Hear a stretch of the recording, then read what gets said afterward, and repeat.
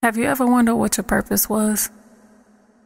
A few years ago, I started to wonder why things happen the way that they do, and if I was doing what was intended for me.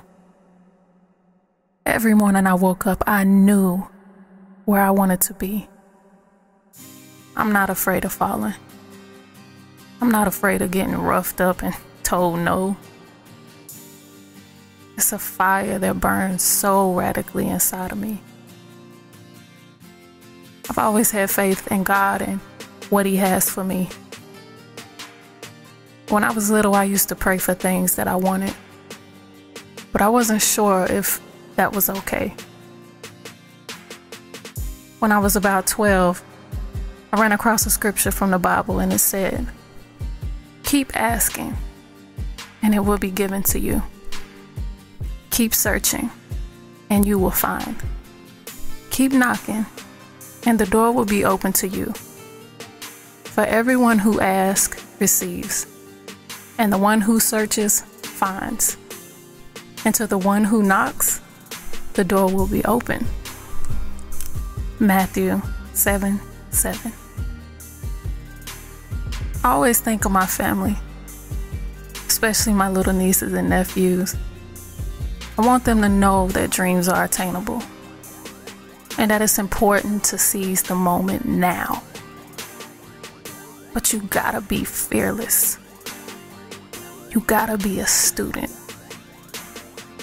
No one wants to work with someone who knows everything. I love having time to myself to think and meditate on things. I love to write my thoughts down while listening to jazz and Zen music. It calms my spirit and helps me balance my mind. Sometimes you gotta slow down and appreciate life for what it is.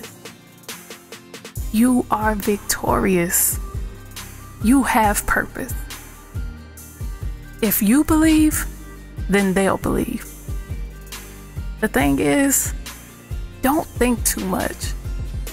Just do what makes you happy.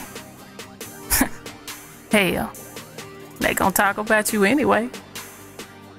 Makeup don't make me beautiful. Jewels don't make me beautiful.